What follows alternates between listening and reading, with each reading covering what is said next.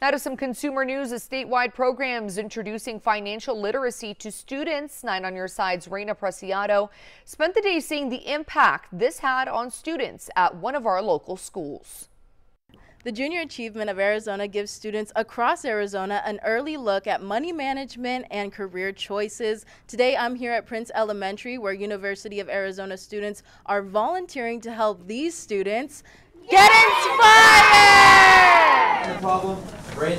They call these JA days, where volunteers like Caitlin Shu lead students through different activities. The activities aim to build financial literacy. Bingo! We're students also, and so in a way, like we want to be the best role models that we can for these students, and just by kind of encouraging them that this is something that's totally doable and attainable, and something that they should be excited for in their future. The program also broadens their horizons when it comes to career choices. They're not just stuck doing a job that they might see a parent doing every day they can actually do any job out there. They can be anything they can dream of. Teacher Kelsey Glavin says the program builds these skills after each yearly JA Day. If they're here in kindergarten and they make it all the way to fifth grade at Prince, then they have six years of experience with junior achievement and they just get to continue on with their like financial literacy and college bound mindset. Now, this is the 12th year that the Junior Achievement of Arizona has partnered with Prince Elementary, but they do not plan for it to be the last.